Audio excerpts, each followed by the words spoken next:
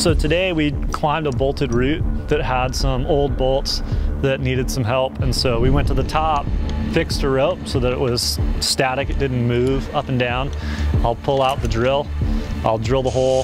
Um, I have a little blow tube and I'll blow it out, put the hanger on a nice bolt and pound it in, snug it down, and I'll make sure that when you hang that on and you clip the rope to it, it's in a good spot. The carabiners aren't gonna run over something sharp, they're not gonna get broken. So the bolts are designed to be uh, recessed into the rock a little bit, so I have to drill, I drill my initial hole to put the bolt in, and then I have to drill some sleeves. The bolts that we use are rated to 8,000, 9,000 pounds. They're really solid. A lot of times the stuff we put in is stronger than the rock. You know, having having good high quality equipment is, is most important. I was first exposed to Hilti when I got my first drill. It was a Hilti TE10. I got tons of use out of it. it lasted me for, for years and years and years and just keeps on ticking. What I've really found is that it's just one of the most well-built drills I've ever used. You can just feel the quality in your hand and you can just feel that it really um, uses the power in a really good way.